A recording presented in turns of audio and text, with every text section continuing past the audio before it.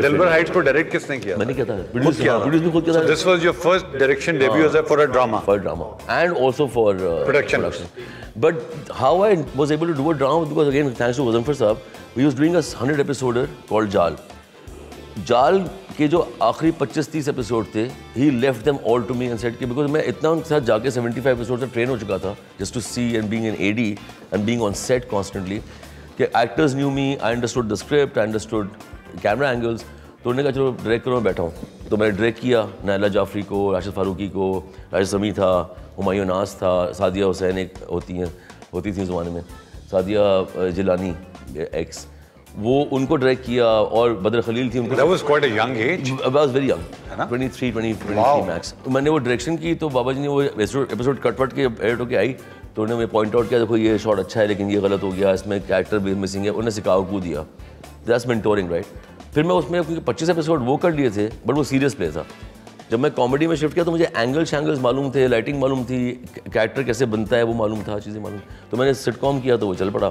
फिर सेकंड किया sitcom subset है तो वो हिट हो गया। उसमें मैंने एक्टिंग भी कर ली। तो फिर वो सब बस जस्ट नहीं मगर सब सेट है तो एक फिनोमेना बन गया ना उस जमाने का। अभी तक लोगों को याद है यार माशाल्लाह तो वो वो उस जैसे वो बुलबुल एक है। मैं कहता हूँ उसको बाकी दुआएँ नबील भाई को और वो what was the that one thing that you still believe सब सेटे में थी जो विच मेड इट पॉपुलर और it was everything about because वो अगर आप आज देखें ना, उस जमाने से वो फ्यूचरिस्टिक था।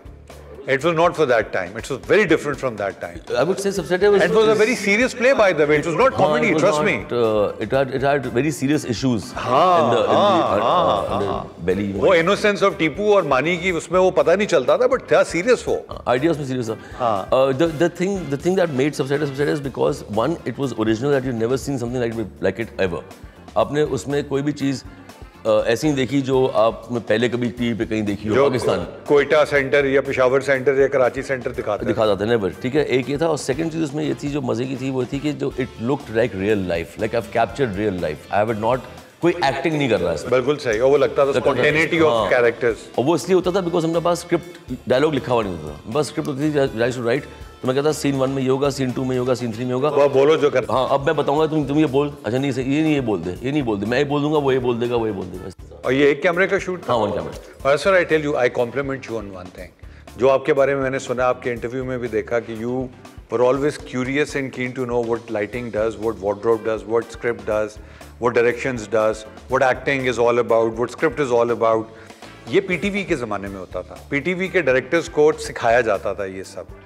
उनकी it was an academic training for was. इस जमाने में पोस्ट 90s या प्राइवेट चैनल्स आ गए थे ये ये आपको खुद ही कीड़ा होता था? हाँ यार मुझे एक्चुअली हमारे अली तेरे मेरे हमारे हमारे जो एरा के लोग हैं उसमें हम फॉलो करते थे पीटीवी के ग्रेड्स को। Correct. राइट उन्हीं को हमने मेंटोर माना उन्हीं उन्हीं से सीखा उनके तरीके देखे किस तरह काम करते हैं फिर हमने वही फॉलो करना शुरू कर दिए। तो हमारे मेंटोर्स जब वो थे तो फिर हमने वो चीज़ें अडॉप्ट भी कर ली। हमने जैसे फॉर एग्जांपल अफजल साहब would always be focused on कि यार टाइम पे शूट स्टार्ट होनी है, मुझे नहीं पता। अगर टाइम पे नहीं करोगे then I am losing money as a producer the actors are gonna get lazy you know let's start on time but when when I start working तो मैंने वो एक बजे शूटिंग स्टार्ट हो रही है, दो बजे हो रही है, कभी उठ के ही आ रहे हैं, आँखें मलते हुए, तीन बजे आ रहे हैं यू नो और शूट स्टार्ट कर तो हाँ I suffered so I learn this through the hard way कि नहीं, वो सही कह रहे थे, यार, नौ बजे स्टार्ट करो, ख़त्म करो छः बजे, क्या मसला है? यू नो अच्छा अब अब अब यहाँ पे हम इस शो को पार्क कर देंगे और हम जब वापस आएँगे अगले एपिसोड में तो हम उस ग्रेट असफर के बारे में बात करेंगे जिसके अंदर एक डायरेक्टर फ़िल्म